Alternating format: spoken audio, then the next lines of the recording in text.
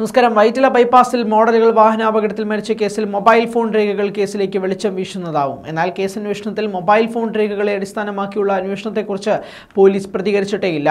ഉന്നത ഉദ്യോഗസ്ഥന് കേസുമായി ബന്ധമാണ് ഇതിന് പിന്നിലെന്ന ആരോപണവും ശക്തമാണ്.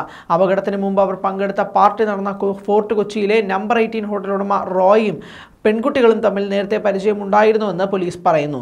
എന്നാൽ റോയിയുടെ സുഹൃത്ത് ഷൈജു തങ്കച്ചനെയും പെൺകുട്ടികളുമായി ബന്ധിപ്പിക്കുന്ന കാര്യങ്ങൾ അവ്യക്തമാണ്.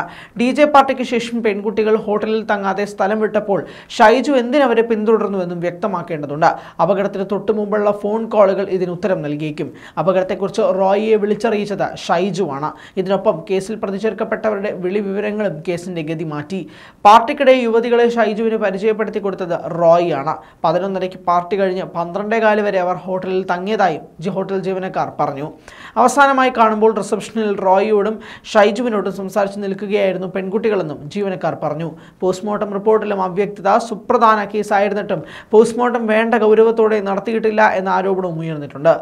മൃതദേഹങ്ങളിൽ നിന്ന് രക്തമൂത്ര സാമ്പിളുകൾ പരിശോധനയ്ക്കായി ശേഖരിച്ചിട്ടില്ല എന്നത് വലിയ പിഴവായി ചൂണ്ടിക്കാണിക്കുന്നുണ്ട്. മദ്യപിച്ചിരുന്നു എന്നറിയാൻ രക്തപരിശോധന അനിവാര്യമാണ്. സിന്തറ്റിക് മയക്കുമരുന്നുകൾ ഉപയോഗിച്ചിരുന്നു എന്നറിയാൻ മൂത്ര സാമ്പിളുകളും പരിശോധനയ്ക്ക് അയക്കേണ്ടതായിരുന്നു. ഇത് സാധാരണ ചെയ്യുന്ന നടപടിക്രമവുമാണ്. എന്നിട്ടും ഈ കേസിൽ അതുണ്ടായില്ല എന്ന ഗുരുതരമായ ആരോപണങ്ങളാണ് ഉയരുന്നത്. കൃത്യമായ ഇടപെടലുകൾ മൂലം പരിശോധനകൾ ഒഴിവാക്കിയാണെന്നും ആരോപണമുണ്ട്. അതേസമയം വൈറ്റില ബൈപ്പാസിലെ കാർ അപകടത്തിൽ മരിച്ച മുൻ മിസ് മിസ്കെയർ ലാൻസി കബീറിന്റെ പിതാവ് കബീറിന്റെ മനസ്സ് ചില കേസുകളുടെയും അന്വേഷണങ്ങളുടെയും പിന്നാലെയാണ്. ആൻസിയുടെ മരണത്തിന് പിന്നിലുള്ള ദുരൂഹതകൾ മാറ്റി സത്യം പുറത്തു വരാനുണ്ടെന്നും അദ്ദേഹം പറഞ്ഞു. ആൻസിക്ക് സിനിമയും മോഡലിംഗും ഏറെ ഇഷ്ടമായിരുന്നെങ്കിലും കാറ്റ് പരീക്ഷയ്ക്കാണ് കൂടുതൽ പ്രാധാന്യം നൽകിയിരുന്നെന്നാണ് കബീർ പറയുന്നത്. അവളുടെ ആ മനസ്സ് തന്നെയാണ് ഫോർട്ട് കൊച്ചിയിലെ ഹോട്ടലിൽ നടന്ന പാർട്ടിയിലും പ്രകടമായതെന്നാണ് കബീറിന്റെ വിശ്വാസം.